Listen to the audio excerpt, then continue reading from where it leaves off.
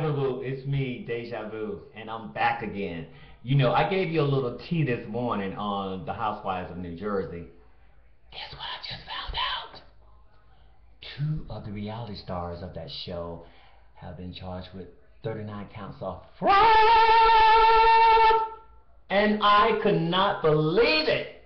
Yes, I saw it on my Yahoo channel. Yes, the Yahoo website. That's what you call it, Yahoo website. So anyway, let me tell you who they are.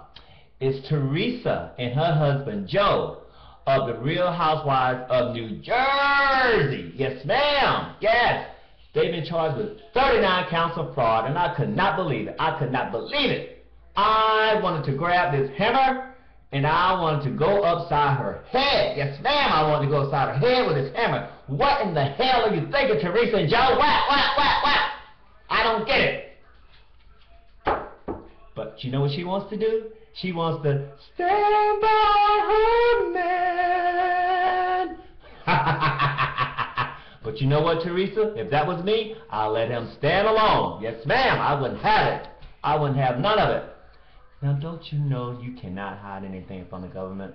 Mm-mm. They'll find out. Yes. I tell them everything. I tell them what kind of underwear I wear. Yes, ma'am. Yes, I'm not hiding nothing. Y'all need to go on your Yahoo page and read all about those different counts on it. There's so many different counts they've been charged with, I can't even mention them all. But anyway, I just had to tell you. And remember, boo-boo, be you and be unique. And one more thing. If you can't laugh at yourself,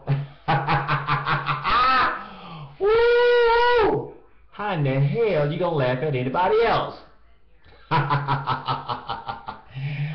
Talk to you later, boo boo. Ciao.